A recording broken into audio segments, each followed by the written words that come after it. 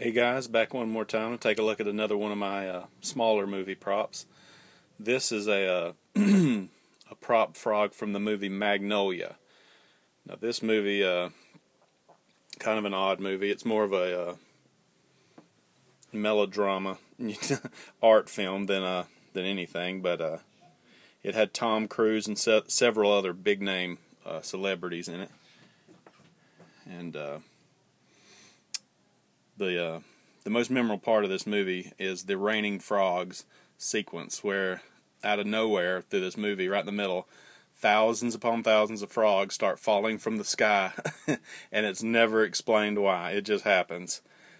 so a lot of these frogs were made, and a lot of them were CGI in the movie, but a lot of them were practical. You know, the ones on the ground, the ones on the cars, and I've seen a lot of these uh, available and uh, some of them were just silicone, you know, quick made silicone frogs for uh, just volume, you know, in the movie to show how many there were, and other ones were like this that had a metal um, armature running through the middle of it, so uh, you could pose it in however you, however you wanted to pose it in the movie, and that's what this is. This one has the uh, the metal skeleton inside of it, but um, a lot of these a lot of these were produced, so they're they're pretty available, you know, if you wanted to find one, if you like the movie, or if you just like a cool prop. Uh, you can usually find these for not not too too expensive, you know, not too much.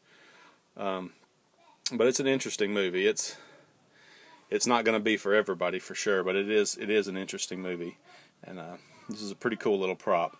Um, that's what the uh, one of the posters look like back there.